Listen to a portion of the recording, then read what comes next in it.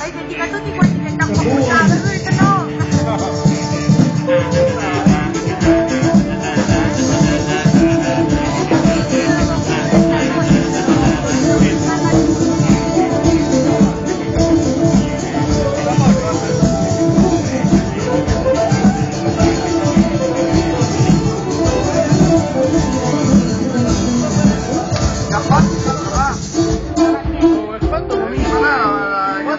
Amén.